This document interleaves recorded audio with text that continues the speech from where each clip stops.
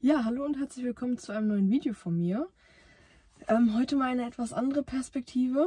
Ich dachte mir, Real Talk ungeschnitten, ähm, das muss trotzdem irgendwie so eine Car-Life-Umgebung sein. Und ähm, habe ich mich entschieden, in mein Auto zu setzen. Mir einen schönen Ort ausgesucht und ähm, ja, würde euch dann mal ein bisschen was erzählen. Und ähm, ja, ich denke mal, die Kameraposition ist alles ziemlich gut hier. Und ähm, ja, wie soll ich anfangen? Ähm, ja, in letzter Zeit kamen keine Videos. Hat mich auch ein bisschen gestört, muss ich sagen, weil äh, ich habe da immer mega Spaß dran, das zu schneiden und irgendwie da irgendwelche Effekte reinzuballern. Und ähm, wenn man nur diese Leidenschaft hat, sage ich mal, oder diese eine Leidenschaft komplett auslebt, dann ähm, ist das ziemlich schwierig, damit klarzukommen, würde ich mal sagen. Und ähm, ja, am 19.08. war eigentlich das erste Ereignis, was mich ziemlich aus der Bahn geworfen hat, muss ich mal sagen. Und ähm, ich war mit dem Audi hier unterwegs und ähm, auf dem Weg zur Arbeit. Und äh, eigentlich gar nichts bei gedacht, ein bisschen eher losgefahren, weil ich noch mit einem Kollegen quatschen wollte. Stehe dann an der Ampel und äh, merke dann nur so, wie es auch immer voll nach vorne geht. Und ähm, weil vor mir jemand gebremst hat, der einen LKW rauslassen wollte auf einer komplett befahrbaren Straße, sag ich mal, ne, wo eigentlich gar kein Platz dafür war. Und ähm, mein äh, Pre-Assistant hier von dem Audi hat mich dann schon gewarnt, hat auch schon leicht die Bremse halt betätigt. Und ähm, ja, dann stand ich schon und dann dachte ich mir auch so, Alter, wie kann der denn jetzt da rauslassen, ne? Ja, und in dem Moment merkte ich halt diesen Ruck und ich dachte mir so, oh nee. Und das auf dem Weg zur Arbeit halt, ne? Und ähm, das war tatsächlich so, dass mir da niemand draufgefahren ist. Und ähm, das war mein erstes Mal, so sage ich mal, wo überhaupt sowas passiert ist, wo ich mir immer Angst vor hatte, weil man selber passt ja immer eigentlich äh, darauf auf, dass nichts passiert und rechnet mit der Dummheit der anderen, weil äh, das Auto einem halt lieb ist, ne? Und ähm, man selber möchte daran ja keinen Schaden verursachen. Und dann passiert sowas. Naja, ähm, die Frau, die das dann da veranstaltet hat, ähm, meinte dann auch so, ja, sie hätte mal mehr Abstand halten sollen. Und äh, ich dachte mir so, ja, geile Aussage so in dem Moment, ne, aber okay. Und ähm, ja, bei dem Unfall ist mir auch klar geworden, dass ähm, die Leidenschaft innerhalb von wenigen Sekunden einfach äh, weg sein kann. Weshalb ich auch äh, tatsächlich den Audi dann verkaufen wollte. Und ich dachte mir so, was ist das für ein Unglück so, ne? Erst dies, dann das und dann jenes. Und alles ähm, immer wegen anderer Leute. Und ich wollte nicht mehr auf Treffen fahren. Ich wollte eigentlich gar nichts mehr mit Autos so in dem Moment machen, weil es mir einfach so weh tat, dass ähm, ja, fremde Leute nicht aufpassen. Und dann auch noch diese Aussage mit, ähm, ja, ich hätte mal mehr Abstand halten sollen. Ja, ganz ehrlich, das ist einfach, ja, nicht, wie soll ich sagen, nicht durchdacht, sondern einfach äh, schlecht weil, ähm, ja, also das, das, das, gehört dann nicht, ne? Und ähm, könnte ja genauso sein am Handy gewesen oder was weiß ich. Und ähm, deswegen, Leute, ganz ehrlich, passt immer gut darauf auf und ähm, äh, macht solche Fehler nicht, was andere machen. Dann äh, solche Situationen, die sind nicht schön. Und ähm, ja, da erstmal wieder zurückzufinden, wo man denn war, ist äh, ziemlich schwierig. Aber man schafft es irgendwann. Hat aber natürlich immer die Angst, so wenn einer von hinten ziemlich nah drauf kommt oder so, dass, ähm, ja, dass, die, dass diese Situation sich wiederholt. Und ähm, das äh, bleibt erstmal für eine einige Zeit, sag ich mal, in dem Kopf eingebrannt. Und ähm, das muss man darüber erstmal, darüber muss man erstmal wieder hinwegkommen, sag ich mal. Das äh, Auto war dann eine Zeit lang äh, ja, beim Gutachter und dann bin ich dahin gefahren und dahin gefahren, bei der Versicherung nochmal und dann mit der Schadensnummer und dann hat diesen noch äh, in Frage gestellt und dann musste ich das noch beantworten. Es war mega viel Lauferei, also ich wünsche niemandem einen Unfall, das ist einfach so nervenaufreibend, sag ich mal. Und ähm, ja, dann war diese Geschichte noch lange nicht gegessen, sie ist auch immer noch lange nicht gegessen. Ähm, weil das Auto wurde zweimal nachlackiert und ähm, ja, war dann dies und das war das und ich habe mich nicht gefühlt, ich konnte nicht fahren, ich durfte kein Auto fahren, weil ich eine Halskrause hatte, konnte mich auch kaum bewegen, hatte mega Schmerzen und äh, ja, dann äh, irgendwann eines Tages musste ich dann mein Auto abgeben, habe das dann zu der Firma gebracht und ähm, wurde auch alles gut aufgenommen und so. Auch alles, ähm, was äh, dran war, sag ich mal, wurde ähm, fotografiert, aufgenommen, detailliert aufgeschrieben und ähm, das hat echt gut funktioniert. Ich habe dann einen Rechtsanwalt hinzugezogen, äh, weil mir das empfohlen wurde. Und ähm, ja, dadurch, dass es ja ein Auto äh, bzw. ein äh, auf dem Weg zur Arbeit Unfall war, also ein BG-Fall, war die ganze Sache noch etwas tricky. Und ähm, da kam von, von allen Seiten kamen die Briefe halt rein und ähm, war nicht so cool. Ähm, ja, aber es hat sich eigentlich alles, alles gut, äh, sage ich mal, durch den Rechtsanwalt auch ähm, aufschreiben lassen. Und äh, ja, also man hatte da schon eine gute Unterstützung, sage ich mal, bei Fragen etc., auch beim Gutachter. Und ähm, ja, wenn es dann, äh, sage ich mal, zu diesem Vorfall kam und ich kein Auto fahren durfte, ja klar, ich, ich habe natürlich ein bisschen Videomaterial noch zu Hause, aber dadurch, dass ich halt gesundheitlich ziemlich eingeschränkt war, konnte ich halt nicht schneiden, nichts und ich bin immer so, ich lege immer viel Wert auf meine Videos und dass ihr da auch Interesse habt, ähm, die anzuschauen. Deswegen habe ich eigentlich auch nicht gedacht, dass ihr dieses Video jetzt hier, was ich gerade drehe, haben wollt. Und ähm, habe dann auf Instagram die äh, Frage gestartet und ähm, fand das eigentlich echt cool, muss ich sagen. Und habe dann gedacht, na komm, setz dich mal ins Auto und ähm, da muss ein bisschen, muss ein bisschen Feeling da sein, ne? Und ähm, ja, soweit so gut. Das Auto habe ich jetzt wieder, wie man sieht. Ich sitze in dem und ähm, ist auch alles repariert, alles fachmännisch gemacht, gilt nicht als Unfallwagen. Dadurch, dass es halt nur ein Auffahrunfall war, wo keine, ähm, ja, sag ich mal, großartigen Karosserieschäden dran waren. Und ähm, ja, ich habe immer noch ein paar Probleme, die ich noch lösen muss, weil ähm, ich habe ja diese Assistenten drin und dieser Spurhalteassistent zieht immer noch nach rechts und ich weiß nicht warum und da wurde schon nachgeforscht, Achsvermessung und alles gemacht. Und damit bin ich noch nicht so ganz zufrieden, muss ich sagen. Ja, dann, dadurch, dass ich ja eine ganze Weile nicht fahren kann oder konnte, ähm, kam dann hinzu, dass ähm, ja, wie soll ich sagen, ein Schicksalsschlag nach dem anderen kam dann halt so, was man so aus der Familie halt hörte und was alles schief geht und hatte man dann auch keinen Elan, irgendwelche Videos zu drehen, wo dann, keine Ahnung, wo man mir vielleicht anmerkt, dass es mir nicht so gut geht oder so. Und ähm, ja, wie soll ich sagen, ne, habe ich dann nichts mehr weiter bei gedacht und habe dann mein Leben, sag ich mal, so ein bisschen dann wieder aufgenommen, war bei deiner Arbeit und alles und ja, dann den konnte ich halt, wie gesagt, nicht fahren oder konnte wieder fahren. Und wie gesagt, das Video ist ungeschnitten, also ich schneide hier auch wirklich nichts raus. Ähm, deswegen äh, entschuldigt mir ein paar Versprecher oder so. Ich bin ja da immer sehr äh, super im Versprechen und irgendwelche Wörter, Wörter finden und so. Und aber ich denke mal, das ist eine ganz andere Ebene, mal ohne zu schneiden, irgendwas äh, hochzuladen. Vielleicht setze ich am Ende so ein, so ein Bild rein oder so, vielleicht, falls ihr da Lust habt, aber ja, und ähm, mal schauen.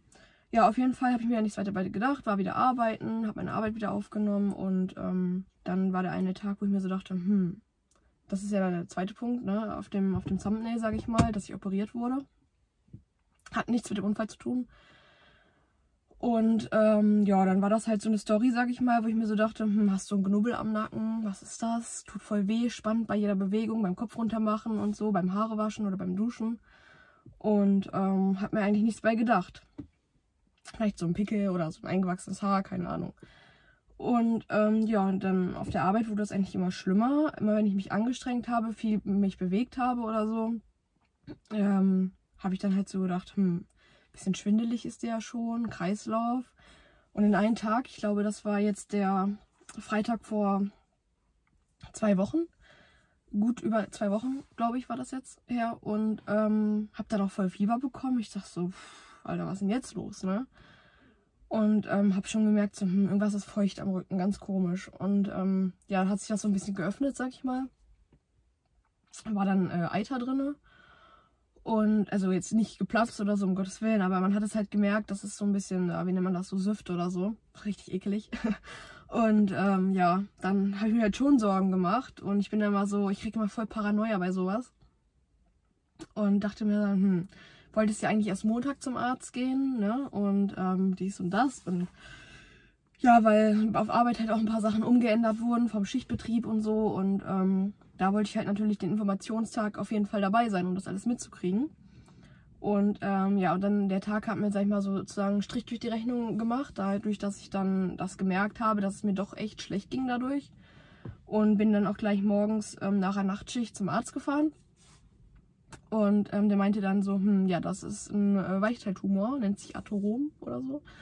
Und ähm, hab dann erstmal mit den, mit den, war schon ein bisschen geschockt, muss ich sagen. Und ähm, ja, der meinte dann, ja, ich überweise dich mal an Chirurgen und ähm, das wird bestimmt aufgeschnitten und ähm, dadurch, dass du ja Schmerzen hast, ähm, wird das wahrscheinlich wegoperiert. Ich dachte, okay. Und ähm, ja, bin dann auch äh, direkt zum Chirurgen dann nächsten Tag, beziehungsweise es war Samstag, Sonntag, dadurch bin ich dann erst Montag hin. Ähm, Montag zum Chirurgen und, ähm, nee, Quatsch, ich bin Freitag noch zum Chirurgen, genau, ich bin ja den Freitag beim Chirurgen gewesen und äh, direkt danach und ähm, da wurde das dann direkt aufgeschnitten, genau so war das, weil ich ja Schmerzen hatte. Dann hat er das aufgeschnitten, hat das halt vorher betäubt mit Eisspray und so und hat das dann aufgeschnitten und ähm, ja, hat das dann alles rausgedrückt und keine Ahnung. Auf jeden Fall tat das mega weh. Und hat mir dann da so einen Verband dran gemacht und musste dann äh, Montag wieder zum Verbandswechsel. Durfte nicht duschen, natürlich voll die Qual, ne?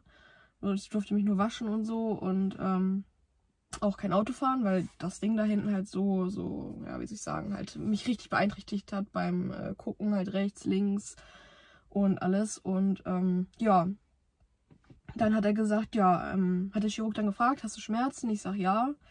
Ähm, ja gut, dann, dann müssen wir das auf jeden Fall operativ entfernen. Okay, dachte ich, äh, alles klar. Jetzt schon wieder ein neuer Schicksalsschlag sozusagen. Und ähm, ja, bin dann als Terminüberweisung, sag ich mal, ähm, weggeschickt worden, musste dann den Mittwoch wieder zum Verbandswechsel und ähm, dann hieß es, die OP wäre am 20.10. Ich solle aber den Tag vorher nochmal anrufen, bis dahin ist ja sowieso Verbandswechsel. Wenn ich den Tag dann sowieso einen Termin hätte, dann äh, kann ich das auch in der Praxis machen. Ist auch alles super gewesen. Also die haben da echt äh, gute Arbeit geleistet, sag ich mal. War recht zufrieden. Und ähm, ja, dann äh, hatte ich dann an dem Tag, wurde mir dann, bevor ich zur OP musste, wurde mir noch gesagt, ja, eigentlich muss das gar nicht operiert werden. Das sieht eigentlich ziemlich gut aus. Aber ich kläre das nochmal mit dem Herrn Doktor ab dachte mir so, hm, ganz ehrlich, ich habe sowieso immer Pech, ich äh, habe keine Erwartungen oder so. Ich denke sowieso schon damit, dass es trotzdem operiert wird. Ja, und so letztendlich kam es dann auch. Die Frau kam dann von dem Doktor zurück, hat nachgefragt und meinte so, nein, Herr Doktor möchte unbedingt am Donnerstag operieren. Termin haben wir jetzt schon, 9 Uhr bist du bitte da. Okay, süß, habe ich ja sowieso gewusst, ne? Und ähm, bin dann auch dahin. Und ähm, es war ein Ort, sag ich mal, wo ich sowieso öfters bin, wegen meiner Migräne. Ich habe ja eine Migräne, äh, ich bin ja Migränepatient. Und ähm, bin dann da hoch. Ich dachte mir so, hm, sollte ja eigentlich die zweite Tür sein. War es aber nicht. Und ähm, dann habe ich da, bin ich da die Treppe wieder runter, bin dann in dieses komische Parkhaus da rein und da stand dann ein OP-Zentrum. Ich dachte mir, okay, richtig komisch so. Bin dann die Treppe da hoch, dann noch komischer, Physiotherapie und nur eine OP-Tür. Ich dachte mir, Alter, ist das jetzt, jetzt schon richtig dieser OP-Saal, ne? Nee, nee. Und da sollte man dann klingeln, habe ich geklingelt. Ich sag, bin ich hier richtig, so und so und dies und das. Äh, ja, bist hier richtig. Ich sage, ich habe um 9 Uhr einen Termin. Ja gut, komm mal rein. Ne? Ich sage, ich habe hier so einen Bogen ausgefüllt. Sollte ich ja wegen, ähm, wegen diesem äh, Narkosemittel und so, sollte ich das ausfüllen. Und ähm, ja, dann äh, stand ich da. Dachte mir, okay. Da unten stand aber Einwilligungserklärung, keine Ahnung. Nach dem Arztgespräch soll ich denn da drei Unterschriften äh, ablegen. Und sie meinte zu mir, ja, hier, ich krieg noch drei Unterschriften von dir. Ich so, okay, hm. Ja, äh, und das Arztgespräch? Ja, das äh, führen wir mit dir noch, aber ich brauche jetzt die Unterschrift. Okay. Äh, Habe ich mich schon ein bisschen komisch beigefühlt, muss ich sagen. Und ähm, ja, bin dann auch schon mit ihr gleich durchgegangen, habe meine Jacke aufgehangen, habe mich dann umgezogen, in, wo dachte, ich ziehe mein T-Shirt aus und alles und ähm, werde dann da operiert. Nein, so war es nicht. Ich musste alles ausziehen, bis auf Unterwäsche. Hab dann diesen OP-Kittel da angezogen. Boah, der war richtig schön warm. und ähm, auch mit Haarmaske und äh, Zopfgummi und so und äh, Schuhe ins Regal und alles und dann meine Sachen in den Beutel rein, Wertsachen alles abmachen und äh, mitnehmen. Dann saß ich da in so einem, ich weiß nicht was es war, ein Aufwachraum oder so. und ähm, dachte dann, hm, hier geht's jetzt schon los. Ja, ich sollte mich mal auf diesen Stuhl da setzen. Da habe ich mich auf diesen Stuhl gesetzt. Da war es echt in dem Moment ziemlich unordentlich, muss ich sagen. Kam auch dann die, die Assistentin rein und meinte, oh, was ist denn hier los? Wenn Männer schon mal äh, hier irgendwas machen, dann hinterlassen die immer voll die Unordnung. Das fand ich ein bisschen lustig. Hat dann da erstmal kurz aufgeräumt und ähm, hat dann bei mir schon mal alles, so ich mal, auf, auf, aufgemacht von dem Pflaster, von dem Verband und so.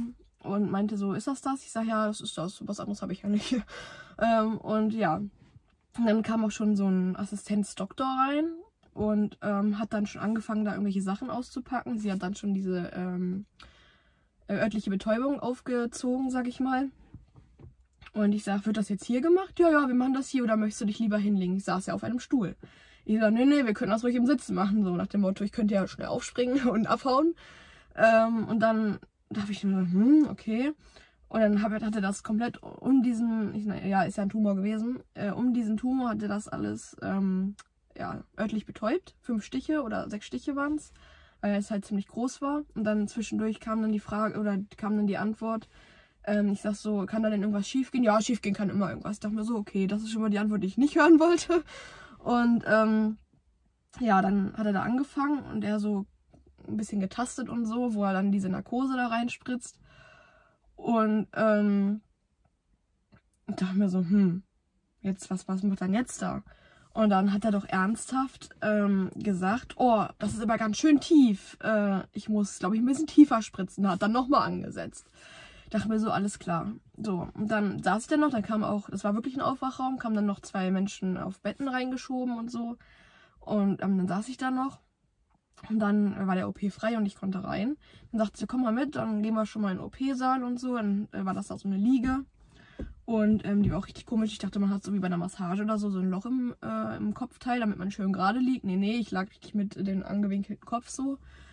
Und ähm, ja, habe ich auch ein bisschen komisch gefunden. Weil ich hatte irgendwie voll Paranoia, dass da irgendwas schief geht oder dass die einen Nerv treffen oder dass das irgendwie komisch zusammenwächst, dass ich dann irgendwie eingeschränkt bin in der Bewegung. Und ähm, ja, dann bin ich dann in diesem OP-Saal gewesen. Da war dann eine nächste Assistentin. Und die meinte zu mir, ist die, äh, ist die Narkose bzw. die Betäubung schon 10 Minuten her? Ich sag, keine Ahnung, weil ich dachte mir so, hm, länger sagen ist besser als zu kurz, ne? Ja, okay, dann lasse ich mir Zeit beim Händewaschen. Die waren echt alle mega lieb da. Und dann kam auch schon der Doktor rein, der mich operierte. Und wollte anfangen und äh, hat sie dann so einen Peaks-Test gemacht, ob ich denn da wirklich nur was spüre oder nicht. Und ähm, ja, dann äh, war das auch relativ äh, komisch, sag ich mal, ähm, weil die dann nochmal sechsmal um diesen Tumor rumgespritzt haben. Und dann innerhalb von zwei Minuten ging es auch schon los und ich sag so, hm, geht es denn jetzt schon wirklich los? Und ich habe nur was gemerkt, wie das da die ganze Zeit geschnitten wird, also ob man so ein Brötchen schneidet oder so. Also es ist immer richtig noch komisch darüber zu reden. Und ähm, ja, dann habe ich dann nachgefragt, weil ich konnte ja reden. Ich sag, haben Sie schon angefangen? Ja, wir sind schon dabei. Und die haben dann auch äh, da direkt so voll rumgedrückt und alles. Und ich habe nur gehört, so als ob die da raufhammern, ne? Aber es war ein richtig komisches Gefühl. Ich hatte dann so eine komische grüne Decke ja auf diesem Teil drauf, wo nur ein Loch drin ist. Ähm, wo das dann abgeklebt ist unten drunter, damit halt das Blut nicht da rausläuft. Und ich hatte die ganze Zeit meine Augen zu. Und auf einmal machte ich meine Augen auf, weil ich mich halt auch mega erschrocken habe, weil das dann echt weh tat. Und ähm, da stand da so ein, so ein Wagen, wie in einem Horrorfilm, wo die die ganzen Bluttupfer draufschmeißen. Und ich dachte mir so, Alter, und ich kann momentan kein Blut mehr sehen, nachdem ich äh, da mitten bei meiner Weisheitszahn-OP so einen kleinen Vorfall hatte. Und ähm, habe ich dann, in dem Moment weiß ich auch ehrlich gesagt nichts mehr. Ich weiß nicht, ob ich irgendwie einen Kreislaufsturz hatte oder so, keine Ahnung. Auf jeden Fall weiß ich davon nichts mehr. Ähm, und dann äh, haben sie auch schon genäht. Dann hat die Frau mir gesagt, ja, sie nähen jetzt und es könnte ein bisschen äh, zwicken und so. Und ähm, wir sind aber gleich durch. Ja gut, dachte ich, alles klar. Und dann auf einmal hat der Stich, war wohl neben der Narkose oder so, der hat mich voll weggecrashed, so, ne? Der hat so weh getan und diesen Peaks, den spüre ich heute noch. Und da hat, hat die Assistentin so meine Hand gehalten, das fand ich voll süß, die war auch wenigstens warm, meine Hände waren arschkalt. Und ähm, ja, wir sind gleich durch und äh, dies und das und wir sind schon am Nähen und äh, hat man ja gehört halt auch, ne? Und ähm, war ich schon ein bisschen beruhigt dann und so und dann durfte ich auch wieder aufstehen. Sie meinte, setzen sich erstmal langsam hin, wir sind jetzt soweit fertig und wir machen dir einen dickeren Verband drauf, damit die Gefahr halt ähm, nicht so äh, da ist, dass es wieder nachblutet. Und da habe ich so Paranoia gehabt, auch beim Liegen. Ich konnte nur auf der linken Seite liegen. Dann, als ich zu Hause war, habe dem eigentlich sehr, sehr oft geschlafen, weil ich mega die Schmerzen hatte. Autofahren, alles konnte ich ja sowieso nicht oder durfte ich nicht. Ähm, wegen dem Umdrehen halt. Ich habe das versucht, weil ich mein Auto zwischendurch äh, mal wegbringen musste und habe dann in die Spiegel geguckt und ich dachte mir so, hm, alles klar, siehst ja eigentlich gar nichts, weil du kannst dich nicht umdrehen. Du guckst zwar in die Spiegel, aber es ist nicht das gleiche. Und nee, Quatsch. Ich bin an dem, das war nicht so, das war nicht so, sondern ich war auf dem Weg am Sonntag, wo dieser Informationstag war, wo ich eine Nachtschicht hatte, wegen den neuen Schichten, war ich ähm, äh, zur Arbeit gefahren. Und da hat mich das schon mega eingeschränkt. Und äh, genau so war das. Und äh, ja, genau. Und ähm, so bin ich dann zur Arbeit und habe dann gesagt, habe aber vorher mich äh, gemeldet und meinte so, hier Leute, damit ihr Bescheid wissen, wegen Stückzahl und alles, dass ich ähm, dann nur kurz für diese Information bleibe und danach wieder nach Hause fahre. Und ähm, ja, ging auch alles gut, sag ich mal. War dann froh, als ich zu Hause war, weil man fühlt sich echt unsicher, wenn man nicht so richtig sich bewegen kann und irgendwas sieht, was äh, hinter einem passiert. Und ähm, ja, das war eigentlich schon die Geschichte von meinem, äh, von meiner Tumor-OP, sag ich mal. Ziemlich, äh, ja, erschreckend und ähm, komisch, weil ich ja auch noch, ich sag mal, ziemlich jung bin. Und ähm, ja, ich hatte noch eine nächste Story, da war auch wegen meiner Migräne alles. Ich habe eigentlich irgendwie immer irgendwas, wo ich was erzählen kann, weil immer irgendwas Komisches passiert. Ähm, musste ich auch, um das halt alles abzuchecken, zum Neurologen nochmal. Und ähm, da wurden mir nicht mal, weil der Verdacht war, dass es noch vom Unfall kommt, ähm, weil mein, mein linker Arm immer einschläft. Und ähm, ja, äh, bin ich dann dahin und dann wurde die Assistentin hat halt alles vorbereitet und äh, meinte dann so, ja, wir messen gleich mal deine Nerven in dem Arm, der halt immer äh, diese pa Paräsie oder so hat. Und ähm, dachte mir so, okay, tut wahrscheinlich nicht weh oder so, ne? Hat die mir dann hier so ein Plus- und Minuspol an die, an, die, an die Finger gemacht und hier so ein Armband rum mit so einer Elektrode. Und dann kam der Doktor rein und sagte, ja, falls, äh, falls es gleich äh, wie so ein Stromschlag ist, ähm, dann bitte nicht äh, deinen Fuß treten, ne? Weil sonst hätte ich halt voll in die, äh, zwischen die Beine getreten, ne? Da extra so zurückgerutscht und so. Und ich habe wirklich, also ich, ich habe richtig so gezuckt, weil das tat echt weh. Und ähm, also man erschrickt sich ja, weil es wie so ein Stromschlag ist, weil das hier auf diese, ich kann das ja mal zeigen, auf diese, auf diese Bahn hier, direkt darauf, da ähm, haben die das halt draufgesetzt. Und ähm, da wurde das halt gemessen. Einmal hier, einmal hier, dann hier unten an dem Knochen bis zum Ellenbogen. Und ähm, ja, und dann auf einmal ging das Gerät nicht. Und er meinte, oh, der Ausschlag ist aber gar nicht richtig, der ist äh, total äh, verschwommen oder so, wie man das nennt. Und ähm, ja, dann war das tatsächlich äh, so, dass dieses Gerät nicht funktionierte und er hat immer gesagt, okay, jetzt passiert's, jetzt passiert's und es hat aber nicht äh, funktioniert. Es hat nicht funktioniert. Und zwischendurch waren dann die Ausschläge mal da, wo er dann auch getroffen hat und alles und hat sich dann beschwert, warum äh, denn alles hier kaputt sei und äh, nicht funktionieren würde. Und ich dachte so, okay, ich sitze als Patientin immer noch hier in diesem Raum, ne? Und er sagt so, ja, ich mache das sowieso nur noch alles aus Spaß. Ich dachte mir so, yo, Alter, was ist jetzt los, ne? Und ähm, ja, fühlt man sich schon ein bisschen komisch, muss ich sagen ja, letztendlich war dann ähm, die Aussage, meine Werte sind zu hoch und ähm, ich müsste ähm, das auf jeden Fall nochmal nachmessen lassen im Januar. Ähm, zwecks Karpaltunnelsyndrom oder so, keine Ahnung. Und ähm, ja, das werde ich auch nochmal machen lassen. Abchecken und so, das ist halt wichtig. Aber es waren auch schon echt so viele Schicksalsschläge und so, die einen halt so richtig runtergezogen haben und deshalb auch keine Videos kamen. Und ähm, wir neigen uns jetzt auch langsam dem Ende des Videos. Ähm, auf jeden Fall fand ich es ziemlich krass, was da in letzter Zeit alles so abgegangen ist. Und ich dachte mir so, ich lasse euch da einfach mal teilhaben, weil das ist eigentlich ein relativ einfaches Video, ähm, wo ich halt wie gesagt nicht schneiden muss und alles und wo es einfach mal so wirklich von Person zu Person aus ähm, übermittelt wird. Und ähm, ja, jetzt am, äh, am Freitag wurden meine Fäden gezogen und ähm, ist auch alles gut soweit verheilt, wächst langsam richtig gut zu. Ähm, muss beim Duschen noch ein bisschen aufpassen und ähm, ja, hat sich dann auch noch letztendlich herausgestellt, dass ich eine äh, komische Wasserpflasterallergie habe oder so. Als sich alles entzündet drumherum und ja, durfte ich dann diese Pflaster halt nicht mehr nehmen. Ja, und ähm, ja, Feen sind wie gesagt draußen. Bilder habe ich tatsächlich auch, aber die äh, zeige ich euch nicht.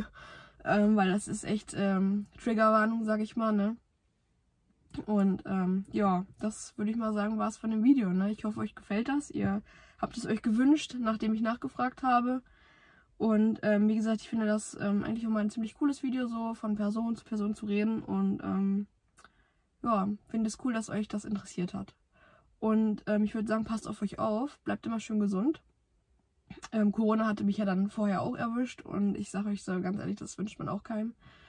Ähm, war auch eine echt komische Qual, aber dieses Zuhause bleiben halt nichts zu tun. Deswegen durfte ich ja da auch kein Auto fahren, weil ich ja nicht raus durfte. Und ja, es war auf jeden Fall äh, ziemlich viel passiert. Und das wisst ihr jetzt, darum kamen keine Videos. Und ich danke euch auf jeden Fall für euren Support und für eure Likes und ähm, Fragen, die ihr mir immer stellt. Und ich bin auch immer jederzeit für euch da. Wenn ihr irgendwelche Fragen habt, dann äh, beantworte ich die euch. Und ähm, ja, wünsche euch alles Gute und ich denke mal, wir sehen uns dann im nächsten Video am nächsten Sonntag. Und ciao.